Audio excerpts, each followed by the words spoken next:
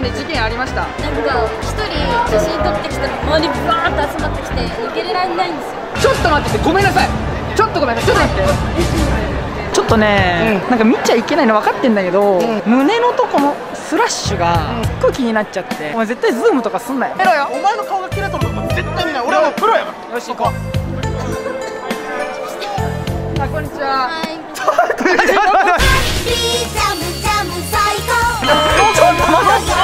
待って待って待ってあのカメラが下向いてる。こんにちはなんで今日来たのハロウィン？あいや俺別に関係ないこれ一応今今日出ちゃダメなのよ外。でもそっちも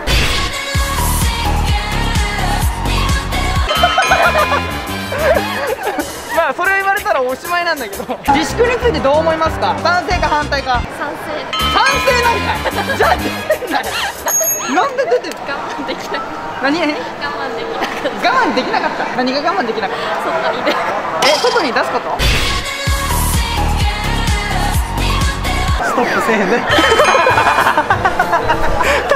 今日はストップせえへんよ。ストップしてください。何？何我慢ができなくなっちゃったの？何が我慢できなくなっちゃったの？え中に出すこと？お願いします。何のコスプレ？とね猫です。キムロフレンズ。知らない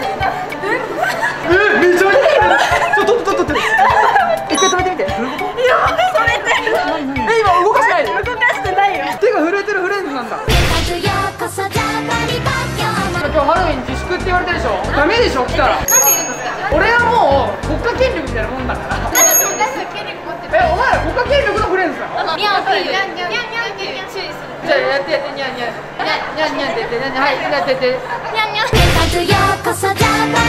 いうことで今回の動画は以上ですまた次回の動画でお会いしましょうせーのバイビーのー